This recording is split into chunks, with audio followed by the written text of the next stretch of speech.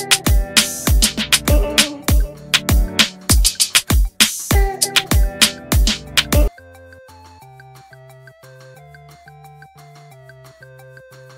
ิดโปรไฟล์ไม่ธรรมดาวิกกี้หวานใจเวียแห่เชียร์สะพัดเตรียมมีข่าวดีวิวา สวยน่ารักไม่แพ้คนในวงการบันเทิง เปิดโปรไฟล์ไม่ธรรมดาวิกกี้หวานใจเวียแแฟนๆแห่เชียร์สะพัดเตรียมมีข่าวดีวิวาห์ หลังทำแฟนๆ ได้เห็นโมเมนต์หวานกันชัดๆ จากกรณีแม่แมมพลอยไพลินคุณแม่ของพระเอกเวียร์ ศุกลวัฒน์ได้ลงภาพสุดอบอุ่นเป็นคลิปครอบครัวที่มีหวานใจของลูกชายร่วมเฟรม พร้อมกับแคปชั่นว่า My Family Love You All คลิปเปิดตัวโดยคุณแม่จัดให้สาวคนพิเศษของเวียร์ แถมยังมีโมเมนต์คุณแม่เอ็นดูว่าที่สะใภ้โอบกอดอบอุ่นสร้างความฮือฮาให้กับแฟนคลับแสดงความยินดีกันอย่างล้นหลาม ล่าสุดมีชาวเน็ตได้ออกมาเผยเรื่องราวของหวานใจ เวียสุกลวัตสาวหน้าหวานคนนี้มีชื่อว่าวิกกี้เรียนจบปริญญาโทจากต่างประเทศดีกรีความเก่งเข้าขั้นเกียรตินิยม อดีตเคยเป็นแอร์โฮสเตส ปัจจุบันเป็นผู้บริหารเครื่องสำอาง และมีธุรกิจส่วนตัวอีกด้วยเรียกว่าสวยไม่แพ้คนในวงการแถมโปรไฟล์ไม่ธรรมดา นอกจากนี้ยังมีกระแสสะพัดออกมาอีกว่าเวียสุกลวัฒน์กำลังวางแผนเตรียมงานวิวาเร็วๆนี้อีกด้วย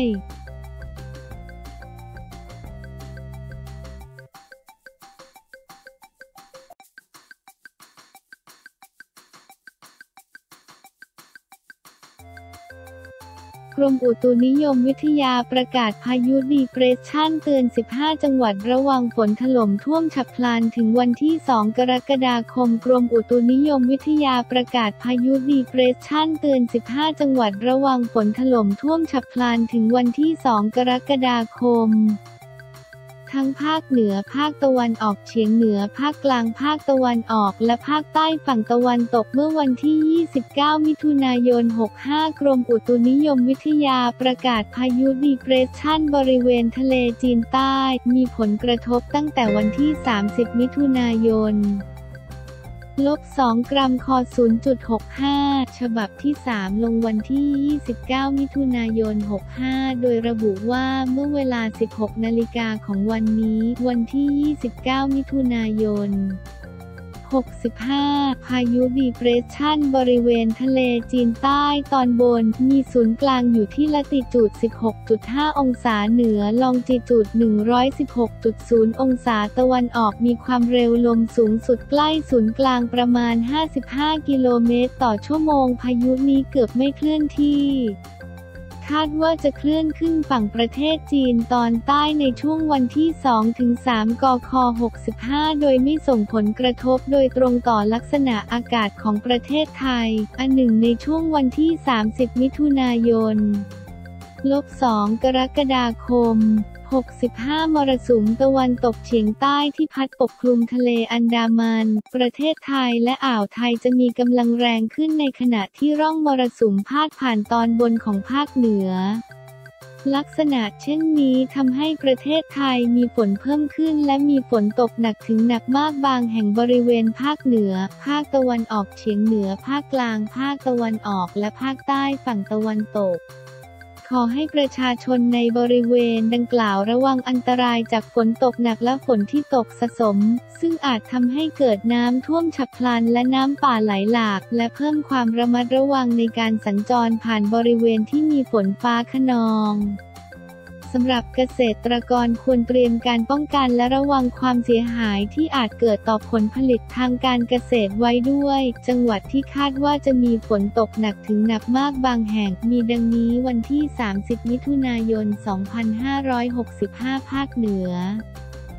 จังหวัดเชียงราย พะเยาและน่านภาคตะวันออกเฉียงเหนือ จังหวัดหนองคาย บึงกาฬ อุดรธานี สกลนคร นครพนม และมุกดาหารภาคตะวันออก จังหวัดระยอง จันทบุรี และตราดภาคใต้ จังหวัดระนองพังงาและภูเก็ตวันที่ 1 กรกฎาคม 2565 ภาคเหนือ จังหวัดแม่ฮ่องสอน เชียงใหม่ เชียงราย พะเยา น่าน แพร่ ลำพูน ลำปาง อุตรดิตถ์ ตาก พิษณุโลก และเพชรบูรณ์ ภาคตะวันออกเฉียงเหนือ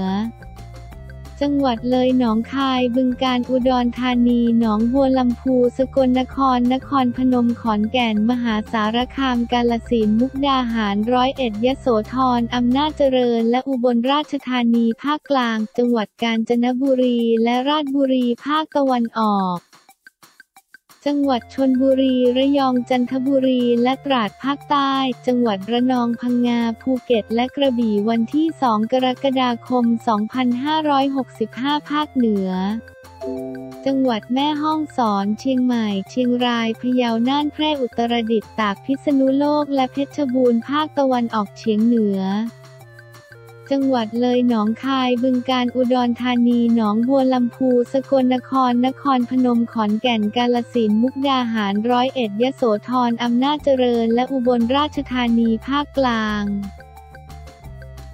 จังหวัดอุทัยธานีกาญจนบุรีและราชบุรีรวมทั้งกรุงเทพมหานครและปริมณฑลภาคตะวันออก จังหวัดชนบุรี ระยองจันทบุรีและตราดภาคใต้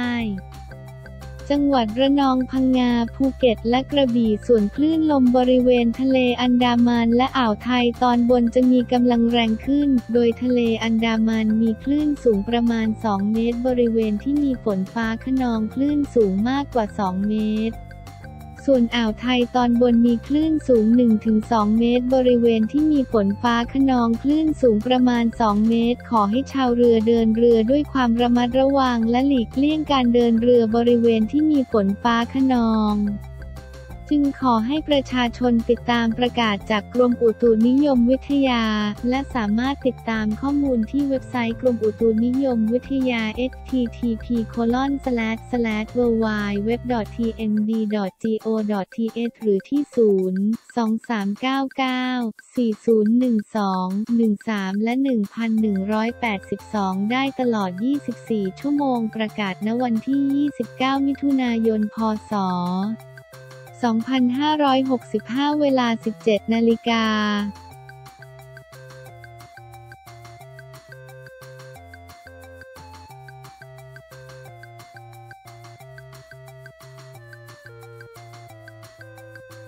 ป้ายไปร่วมงานบวชลุกขออโหสิกรรมที่เคยล่วงเกินอนุโมทนาบุญใหญ่อดีตคู่จิ้นร่วมปลงผมป้ายไปร่วมงานบวชลุกธนดลขออโหสิกรรมที่เคยล่วงเกินอนุโมทนาสาธุกับบุญใหญ่ครั้งนี้ วันที่ 29 มิถุนายน 65